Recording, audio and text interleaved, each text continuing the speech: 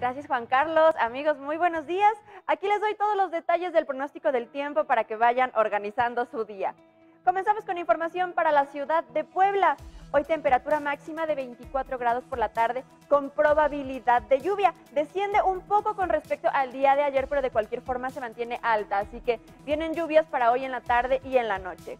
Amigos de Tlaxcala, les cuento cómo va a estar su día. La probabilidad de lluvia se mantiene alta hoy y el resto de la semana.